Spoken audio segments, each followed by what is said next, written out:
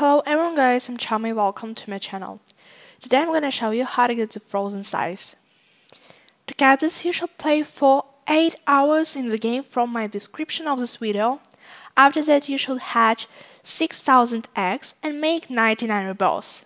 I would say that to get the item you should play more than 8 hours cause to hatch 6000 eggs and make 99 rebels need more time than that. Would I spend time on this? Definitely not. But it's your choice.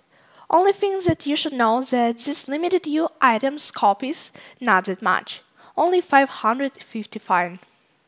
And that's all, I'm Charmy. Thanks for watching. Don't forget to like this video and subscribe for more free UGC items and even limited.